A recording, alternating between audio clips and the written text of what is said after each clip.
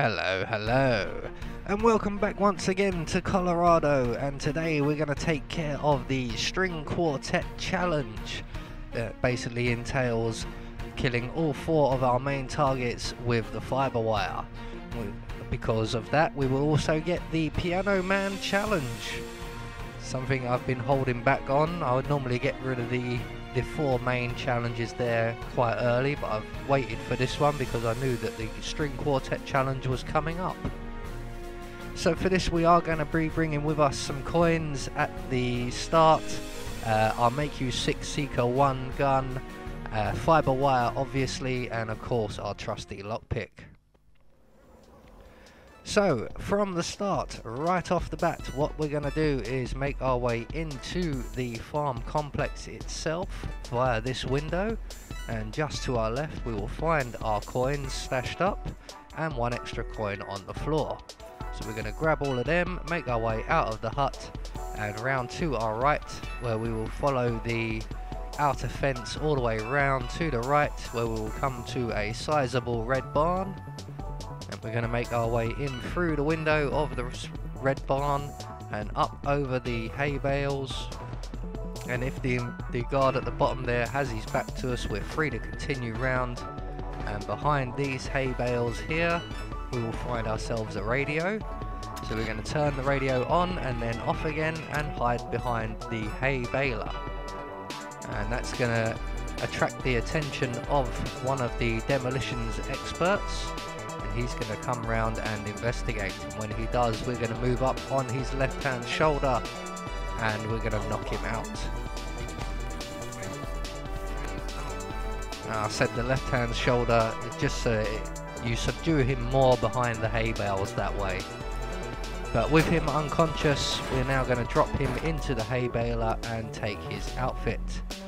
So we're now going to make our way over to part of the apricot farm so we're going to just exit the demolition area and hang a right, uh, left even, and we're going to make our way right back pretty much to the start of the mission to one of the exits here. And we'll find a little shed just on our right. And on the shelf in the shed we will find the ATV keys.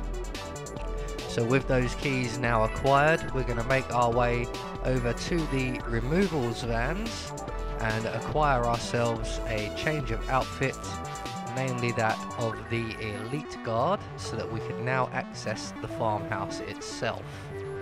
And that's just up inside the removals van here. We're just going to wait for that guy so he's not looking. The guys behind you don't matter, they won't spot you.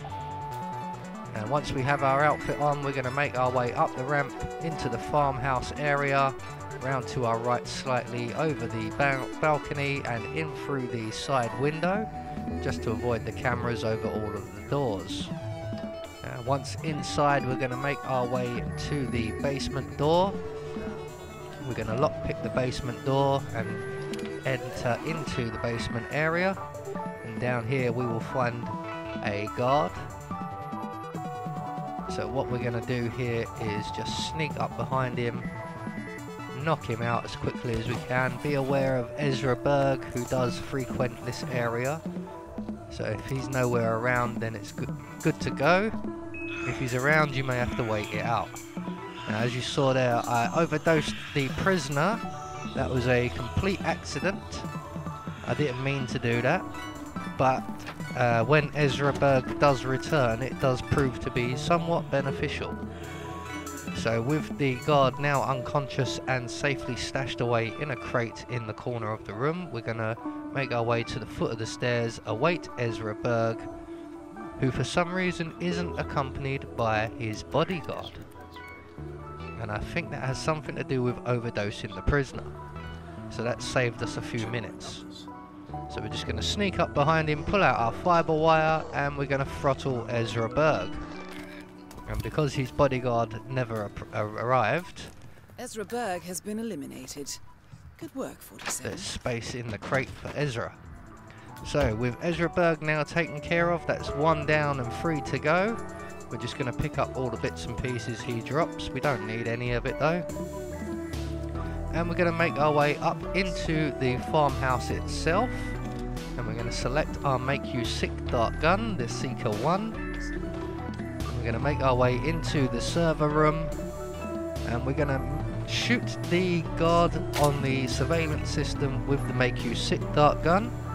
He will get sick, he will come past us and the server, and he will go over into the corner of the room where the windows are, just to our right, uh, to be sick in a bin, and we can pounce on him and knock him out. So here he comes now. Once he's in position, we're just going to crouch down, knock him out, and his body will be nicely tucked away here, out of anyone's sight. So now we're going to make our way over to the Hoover that's just by the door we came in, and we're going to wait behind the server for one of the hackers in the next room to get distracted by it. He's going to come in and turn it off, and when he does, we're going to knock him out and put him with the guard over in the corner of the room.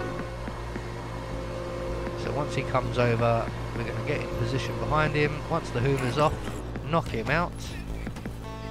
And then we're just going to drag him over behind the cooling systems here, or the air fans or whatever they are, I have no idea. They look like some sort of deep sea rover things. Just going to make sure his body's nicely tucked up. Uh, um, I'm not overly happy with that. Let's see if we can't grab his feet. Can we grab his feet? Come on, we can grab his feet. I'm sure we can. There we go. We're Agent 47 Anubis. So with that hacker taken care of, we have one more hacker to deal with in the next room. But as you can see, both Sean Rose and Penelope Graves have now entered the building. And we have literally no choice now but to wait. At the very least for Penelope Graves to leave and for Sean Rose to make his way upstairs.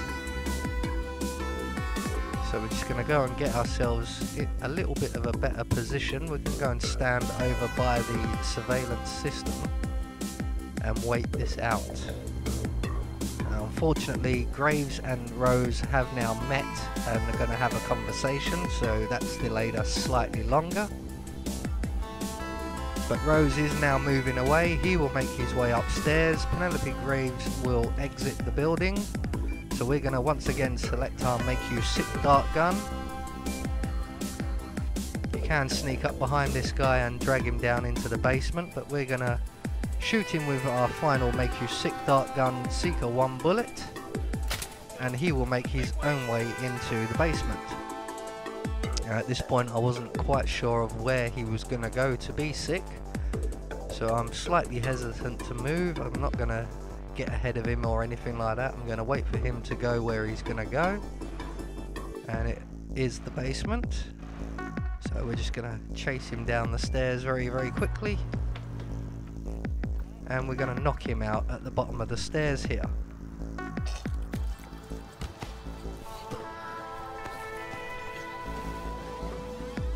So that's everybody on the ground floor we need out of the way, now out of the way. So we're just going to drag his body over towards the boiler just so that anyone at the top of the stairs won't see him.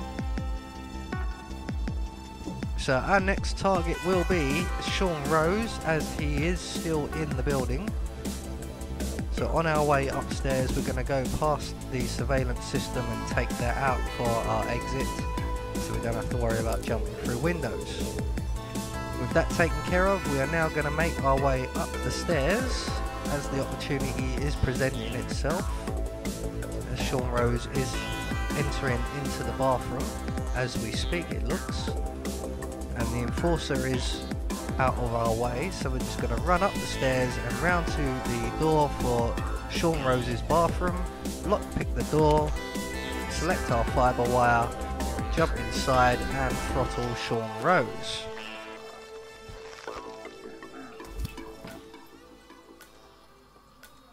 Sean Rose confirmed down. Nicely done, 47. So with Sean Rose now taken care of, that is two down, one to go. And we're just going to hang around in the bathroom area here for the patrolling enforcer to make his way over to the children's bedroom and once he's clear we're free to exit the bathroom make our way back downstairs and we're going to head back down towards the basement our next target will be making her way over here shortly and that is Penelope Graves. So we're just going to wait inside the basement door stair or stairs door. We're going to select our fibre wire and we're just going to wait for the arrival of Penelope Graves. And when she arrives she's going to go through her routine in the war room area or the planning room. And she's going to come back past the basement door on her way out of the building and when she does that's when we're going to open the basement door pounce on her with our fibre wire and drag her into the basement. So here she comes now, and just as she's passing the door, we're going to open the door, throttle her with fibre wire, and drag her down the stairs. Graves is down. Excellent work, 47. And we're just going to leave her with the guard. We'll make it look like a uh, murder-suicide pact. So with three of our targets down, that just leaves Maya Parvati, who most unfortunately does not come anywhere near this building. So we're going to have to go to her. So just checking that the surveillance system is down before exiting through the main front doors. And we're going to make our way over to the water tower area. And we're going to get ourselves the point man disguise. So once we get to the water tower, we're just going to make our way inside the hut at the bottom and straight into the bathroom. And we're going to overflow the sink.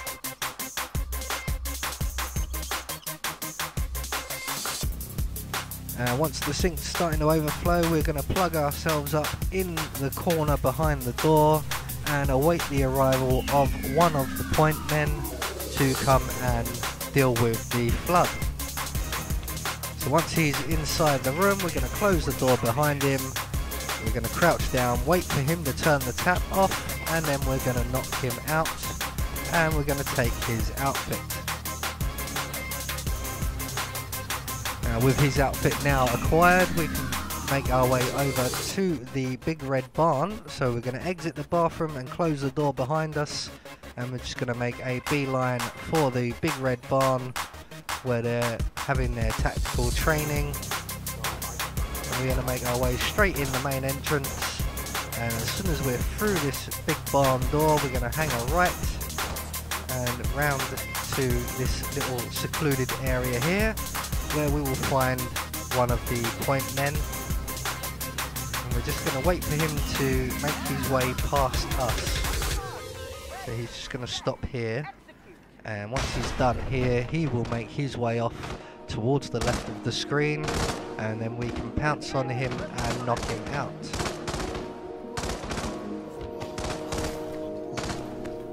So that's him unconscious. And we're just going to drag his body around following the wall to avoid anyone looking at us and hide his body in the crate provided. We're now going to collect his gun and we're going to put that in the gun case next to the crate. It can be a little fiddly. So now we're going to set up our trap. So we're going to select our coins, of which we have four, and we're going to drop three of them on the floor a few feet apart, making sure that the third one is at least around here somewhere. Now, as you saw, Maya Parvati saw me drop that third coin. I was hoping she'd come over and investigate, but she didn't. So we're going to select our fourth coin and we're going to throw it over at the start of our little coin trail. And Maya Parvati will send someone over to investigate.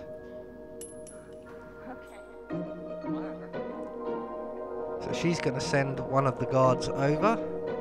He's the only other guard in the area and when he comes over he's going to start spotting the coins and when he starts moving to pick the coins up we are going to position ourselves behind him and when he goes to pick up the fourth and final coin we will then pounce on him and knock him out as well So he's picked up one coin.